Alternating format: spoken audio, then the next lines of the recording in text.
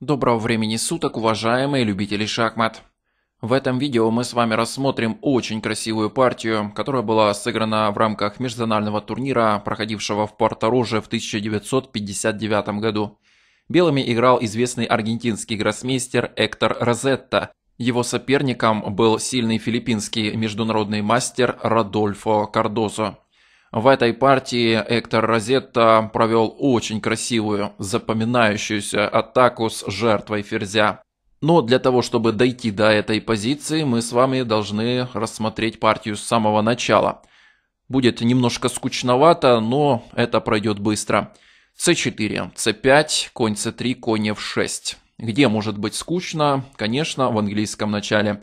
Прошу прощения у всех любителей этого дебюта g3, g6, слон g2, слон g7, d3, конь c6 и слон g5 играет Розетта. а6 и после коня в 3 ладья b8. Черные намечают продвижение пешки на b5.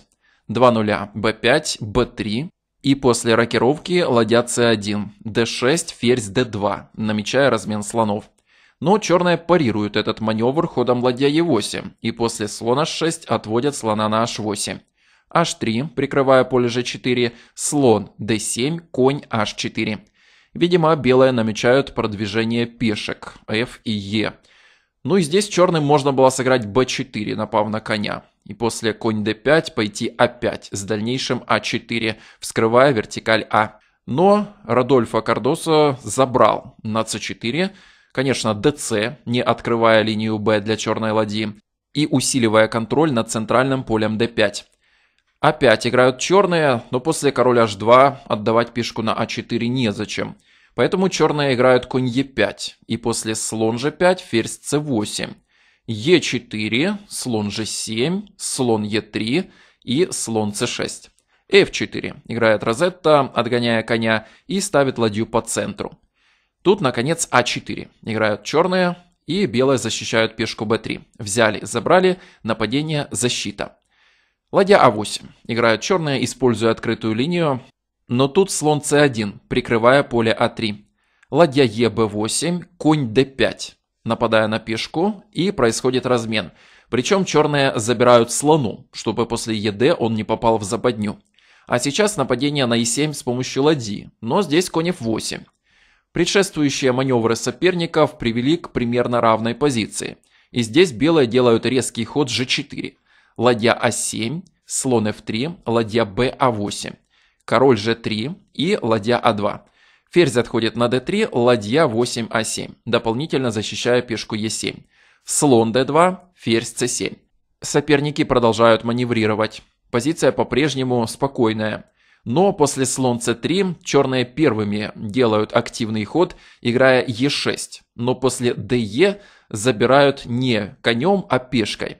Все же следовало активизировать своего коня, с тем, чтобы на примерная ладья bd1 с нападением на d6 сыграть g5, используя неудачное положение коня h4 и пешки f4. Если конь идет на g2, то d5, подключая к атаке пешки f4 ферзя. Впрочем, черные на e6 забрали пешкой, получив довольно подвижную пешечную массу, но конь f8 пока что остался вне игры. Ладья e3, конь e8, открывая слона, ладья b e1 и происходит размен. Конь переходит на g7, слон g2. В этом положении черные могли сыграть d5. Это было лучшее решение.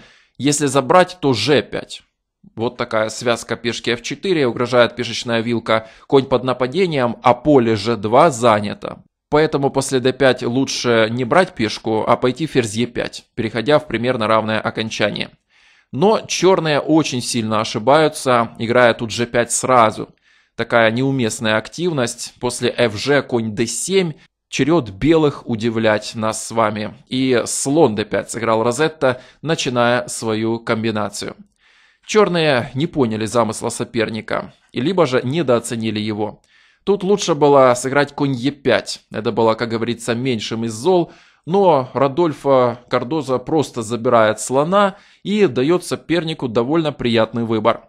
Кстати, в этой позиции Розетта мог не жертвовать ферзя, а пойти ладья Е7, нападая на коня G7, а после D4 отдать качество, и после взятия конь F5. Конечно, с таким активным конем белым незачем переживать за результат партии. Как минимум будет вечный шах, ну а как максимум мат. Король f8, конь бьет d4. Смотрите, хвалил я коня, а он тут жертвуется с переходом на e6. Ну, понятно, забираем, ферзь f3 шах, и тут уже тяжелые фигуры добивают короля. После конь f6, ферзь f6, ферзь f7, тут у нас шах, еще и отвлечение. Ну, в итоге получается ферзь против двух ладей. Правда, белые забирают на h7 и получают выигранную позицию, потому что пешки на королевском фланге идут довольно быстро и уверенно. В нашей же партии Розетта решил удивить соперника бомбическим ходом ферзь бьет g7. Действительно, очень красивая жертва, ну и последующие события не менее интересны. Ферзь бьет g7, конь f5. Все тот же сильный конь, в этом варианте, который как раз случился в партии, он и сыграет ключевую роль. Если пойти король g8, то конь h6, король g7, ладья e7, король g6. Далее подключаем еще одну ладью, ну и тут уже приходится отдавать коня. Если забрать на g5, то моментальный мат пешкой.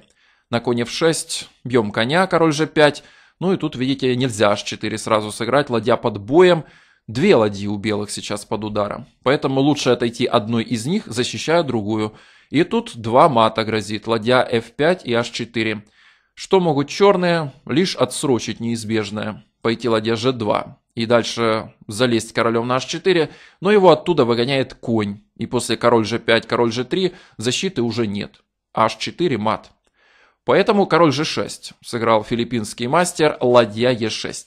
Опять же, если забрать на g5, то мат пешкой. Если отойти на f7, то ладья e7, король g8 и тут форсированный мат. Общими усилиями двух ладей и коня. Конь h6, дальше ладья e8, после король g7, ладья g8. Кстати, тут даже одной ладьи оказалось достаточно. Вот такая известная матовая сеть.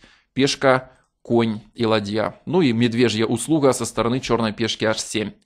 Поэтому на ладья e6 черные решили сразу коня отдать, но это их не спасло. После ладья бьет f6, король g5, все та же защита ладья e e6 с угрозой h4 мат.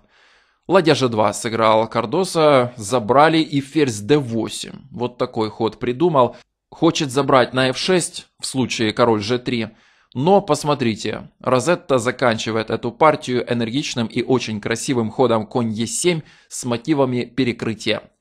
Тут Кардоса осознал, что мат неминуем, и сдался. Действительно, после взятия на e7 следует ладья f5 и ладья h5, вот такой красивый мат.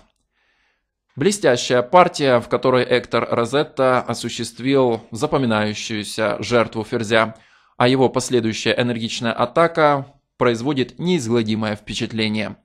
Если это видео вам понравилось, не забывайте ставить лайки, подписывайтесь на канал Шахматы для всех, оставляйте свои комментарии. Большое спасибо за внимание. До свидания.